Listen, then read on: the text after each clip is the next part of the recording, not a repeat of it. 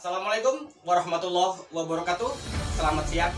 Kembali Bang Kumis menjumpai Anda edisi Senin 22 Februari 2021 Kegiatan Ormas Badak Banten Perjuangan atau BBP berupa Raker ke-1 yang dilaksanakan di Hotel Wanda Galuh Serang berjalan lancar.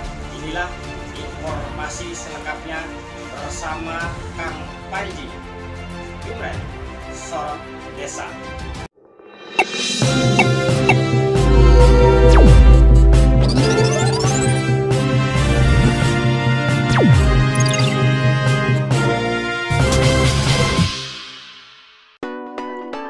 Rapat kerja yang dihadiri Ketua Umum Haji Eli Sahroni, Wakil Ketua Umum Wahyu Supriyadi Sarjana Hukum beserta Entus Mujani selaku Sekjen dan DPC DPAC sewilayah Banten serta para Kartini BBPP.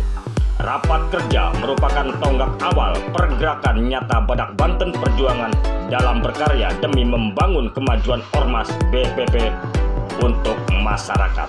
Hasil keputusan rapat kerja yang berupa program kerja jangka pendek, jangka menengah dan jangka panjang akan menjadi rujukan pelaksanaan para pengurus Badak Banten Perjuangan.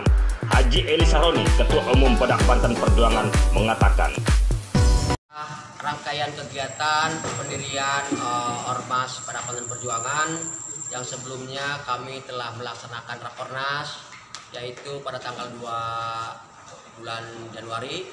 Yang selanjutnya kami mengadakan deklarasi di Menara Kecamatan Banten yaitu tanggal 22 bulan 1 yaitu bulan Januari. Dan ini adalah rapat kerja di mana kami di sini adalah tanggal 21 bulan 2 yaitu dengan kode 212 dengan tema raker ini adalah memper- memperkuat diri membangun organisasi. Yaitu adalah organisasi uh, kemasyarakatan pada Banten Perjuangan. Ini adalah rangkaian dari pendirian uh, ormas kami ini Harapan ke depannya?